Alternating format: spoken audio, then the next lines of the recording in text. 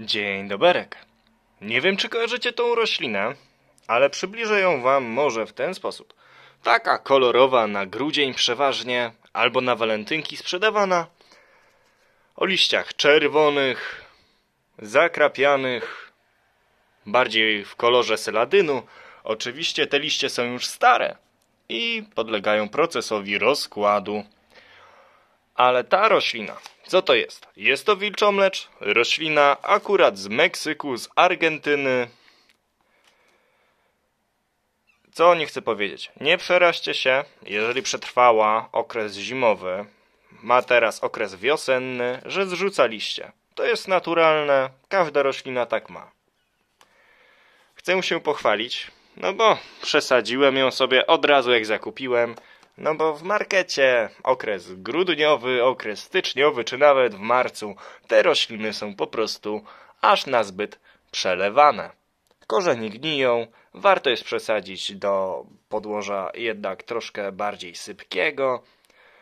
Zadbać o to, żeby nie przelewać tej rośliny, podlać raz na dwa tygodnie, raz na trzy, a nie co drugi dzień w markecie nawozem, żeby ta roślina przez chwilę dobrze wyglądała, a później była zmartwiona.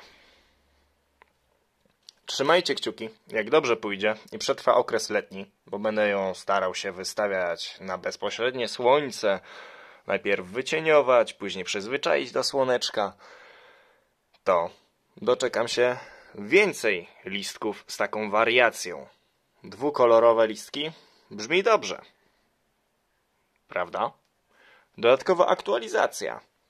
To, że przyszedł mi e, rojnik, to wiecie.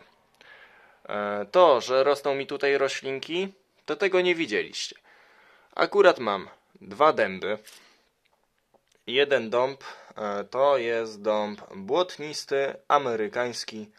Drugi, nie powiem nazwy, prawdopodobnie to samo. To, co mi tam umiera, bo niestety, ale w budynku przeżywało okres zimowy, bo wyrosło mi wcześniej, wcześniej wykiełkowało, wzeszło, to jest palec nieboszczyka. Tego gagatka prawdopodobnie nie muszę przedstawiać, jedni nazywają to drzewkiem szczęścia, a inni po prostu gruboszem. To co mi tam wyrasta? Hmm, nie mam pewności, ale prawdopodobnie jest to magnolia. To duże coś, to czosnek. Bo czemu by nie? To peryskopis, tu szczepienie, epifilium peryskopis, widać, nie trzeba przedstawiać. Te szczepienia jako tako się przyjęły, nie wiem na ile jest to wytrzymałe, ale spróbowałem, zobaczymy. Po szczepieniu należy uważać na odrosty, bo podstawka, czy też podkładka e, lubi wypuszczać odrosty, czy też tak zwane dziczki. Tu mamy zraz, zraz pilnujemy, żeby rósł, Trochę się obawiam o łączenie, na ile też jest stabilne tutaj, bo troszkę mi ten zraz uciekł. Ten akurat dobrze się wpasował. Trzymajcie kciuki.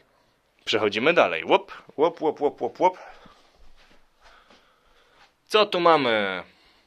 Co to jest? Dobre pytanie. Jest to kalandium. Tak się prezentuje. Bardzo piękny kolor krwisty również i różowy, ciemniejszy bądź też jaśniejszy. Jeszcze mam formę białą, e, ale jeszcze mi nie powschodziła.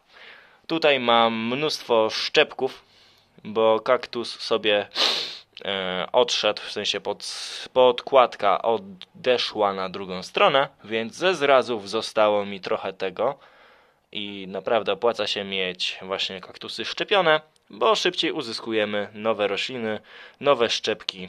Roślina szybciej nam rośnie. Kolejna roślina szczepiona, jak widać, jest to kaktus. Jak widać, mówiłem o dziczkach, robię tak i dziczki nie ma. Jest to malmiriena, malmiria. Zobaczymy, co z niej wyrośnie, czy zakwitnie w tym roku, czy też nie, na ile ten wzrost będzie większy. Kaktusy można podlewać jak najbardziej od kwietnia. Mamy zaraz maj, także coraz częściej zaczynamy podlewać roślinki. Temperatura, jeżeli za oknem sięga 25 stopni, 20 codziennie za dnia, no to bez krępacji raz w tygodniu podlewamy kaktusiki. Pamiętajmy o podłożu przepuszczalnym. Najlepiej mieszanka piasku e, z delikatną próchnicą, pumeksu, skały wulkanicznej. Ale co będę wam mówił? Macie internet, wpiszcie, znajdziecie. Oczywiście nie ma czegoś takiego jak uniwersalne podłoże do kaktusów czy do każdej rośliny, bo każda roślina ma inne potrzeby i znajduje się na innej płaszczyźnie geograficznej, jeżeli chodzi o rodzimy rejon. Dobra, tu roślinki, tam roślinki. Ja zabieram się do roboty. Trzymajcie się, koty.